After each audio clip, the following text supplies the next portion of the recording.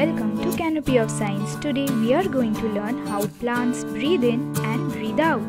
So let's embark on this journey. Happy learning.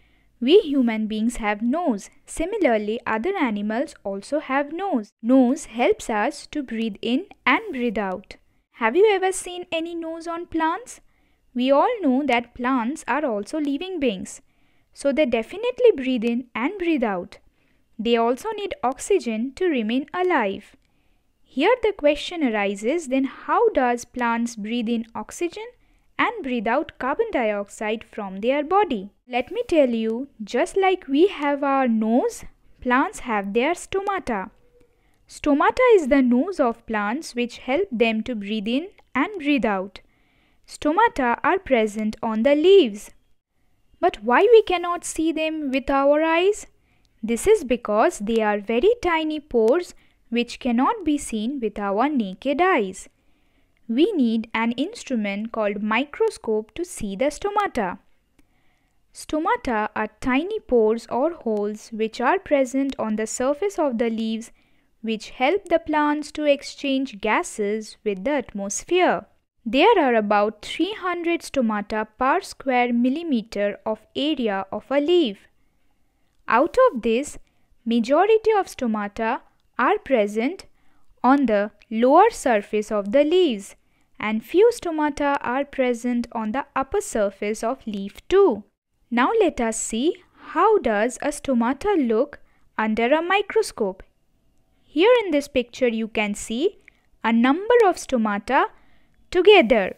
If we focus on one stomata, it will look like this. The parts of the stomata are this is guard cell. Inside guard cell, you can see the nucleus of the guard cell and these are multiple chloroplasts. There are two walls of the stomata. This is the inner wall and this is the outer wall. You can clearly see in this picture that the inner wall is thicker whereas the outer wall is thinner. We have two guard cells which are encircling a pore which is called the stomatal pore. Through this stomatal pore, oxygen goes inside the plant body and carbon dioxide will come out of the plant body. So we can say that two guard cells along with the stomatal pore form a complete stomata. This is the picture of stomata when it is open.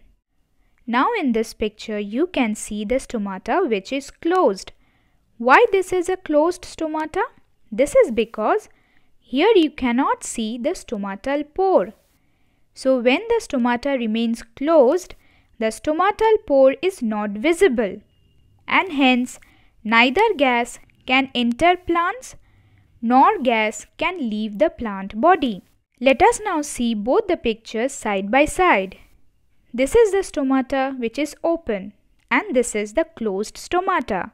Now you will ask the question how the stomata is opening and how they are closing. So let me tell you the science behind this. When water enters the guard cells, the guard cells swell up just like a balloon and move away from one another and finally the stomatal pore will open. Just the reverse occur when the stomata closes. When the water comes out of the guard cells, the guard cells will become flaccid and collapse. And finally they will come close to one another and the stomata will hence close. Along with water, one important mineral called potassium also helps in this process. When potassium enters the guard cells, the stomata opens and when the potassium comes out of the guard cells, stomata closes. So now let's sum up what are the important functions of the stomata. Number 1. Stomata helps in breathing of plants. This is what we have learned today. Just like any other living being, when stomata is open, Plants breathe in oxygen and breathe out carbon dioxide. Number 2. Stomata helps in photosynthesis. And number 3, stomata also helps in transpiration. How stomata helps in photosynthesis and transpiration, we will learn that in coming educational videos. So do not forget to subscribe to Canopy of Science and stay tuned.